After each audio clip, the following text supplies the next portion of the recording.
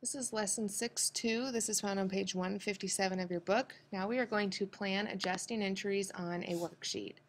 Okay, so the first thing that we need to know is what adjustments are. Okay, um, changes recorded on a worksheet to update general ledger accounts at the end of the fiscal period. Those are adjustments. Okay, um, it says the assets of a business such as supplies and prepaid insurance are used to earn revenue.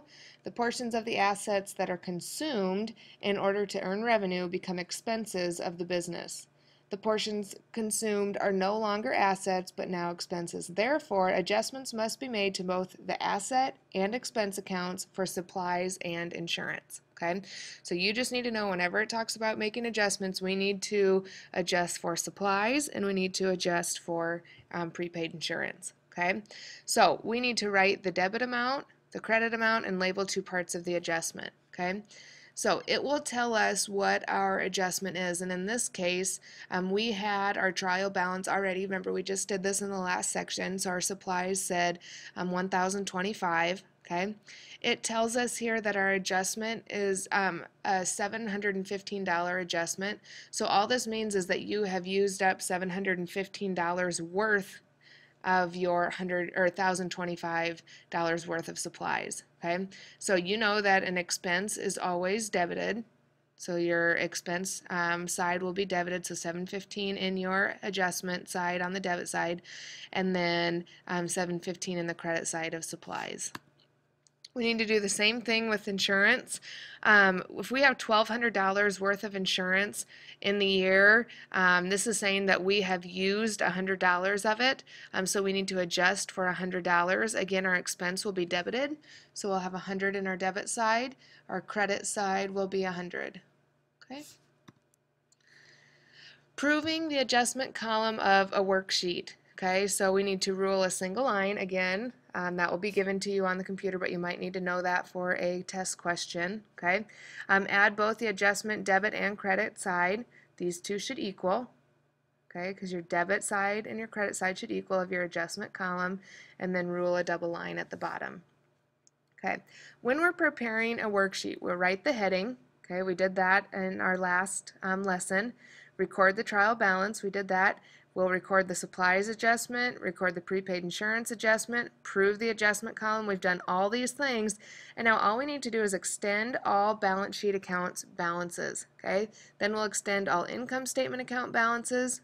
Then we'll calculate and record the net income or net loss. And then we'll total and rule the income statement and balance sheet column. Okay? These nine things you need to know how to do in order. Okay? This needs to go in your notes so that you remember exactly how to prepare a worksheet. This will be a big part of um, this test for one thing and then accounting um, you'll need to know this for all the chapters following okay so you really need to make sure that you understand this if you don't understand this stop go back read um, come ask me watch this video again and then move on okay this is what our worksheet looks like if you go to page, let me get to it, um, 160, um, then the next page is the summary of preparation of a worksheet um, for a service business. So if you turn it to one more page, it says page B. This is what a worksheet looks like. And the um, page before, like those transparent sheets, is what we have done through the trial balance. So that where it says that number one, we have gone ahead and done our heading, so TechKnow Consulting worksheet for the month ended. We've done our trial balance, so we've written all of our general um, ledger accounts, we've done all of their debit and credit columns, and we've ruled. Okay.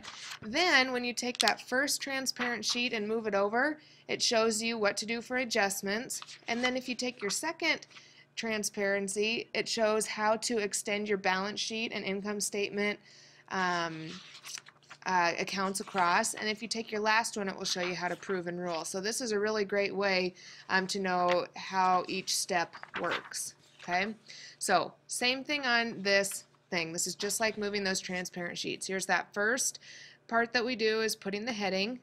Okay, and then this shows it all done. Okay, so the second part would be to do your trial balance. The third part would to do your supplies adjustment. Fourth part would be to do your prepaid insurance adjustment. Fifth would be to rule. Sixth, we are going to just extend the balance of all of our balance sheet accounts. Okay, so cash, petty cash, all the way down to income summary. Nothing should be an income summary. That's where you know where to stop with your balance sheet, and then that's when you start moving down into your income statement. Okay, so let's watch this. If this says 49.64 even, you just move it over. A thousand, fifteen hundred, thousand. Okay. Here, though, we can't just move it over because we have this um, 715 of a credit. So we started with a debit, 1025. Now we have a credit. If we add together a debit and a credit, right, it's going to be less. We'd have to subtract that credit. So now we have 3100. Same thing here. 1200 a debit minus a credit, we'll have 1100 or 11,000, sorry. Okay? Move these over. Do you see how these were all debits? So it started in the debit side. These are credits. So these will go on your credit side over here. Okay? Debit to debit. Now that our income summary line is here, now we need to start moving over to the income statement. Sorry, income statement side. Same thing, just move them over to whatever side they're on. Okay.